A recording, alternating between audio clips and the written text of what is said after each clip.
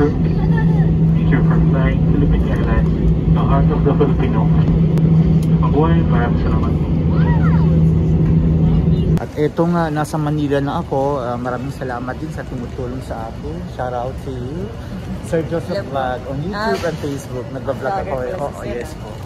So ito, so maging viral tayo. Maraming shout out ka. Anong pangalan mo? Shoutout po. Yan, mala, mala- ano, mabait ang mga taga Philippine Airlines. Ah, shout out sa mga friends mo. Shoutout sa mga wheelchair attendant. Help. Ah, okay. Thank you very much.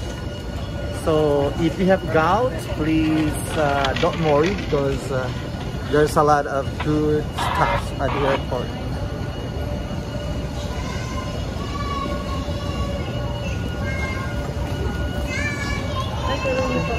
Oh, yes po.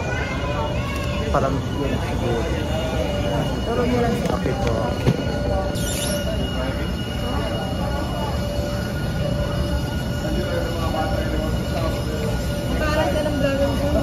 Sir Joseph.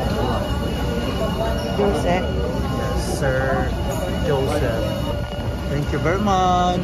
So baka rin, isa sa inyo ang uh, makakasalubong sa kanya sa airport kapag masakit ang paa nyo. No problem. Nandyan si...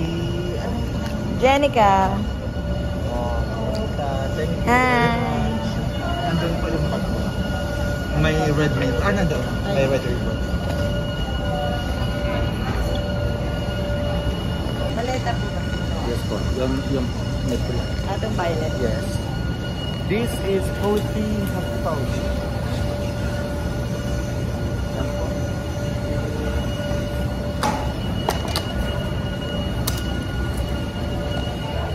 So we're going to Bay 6.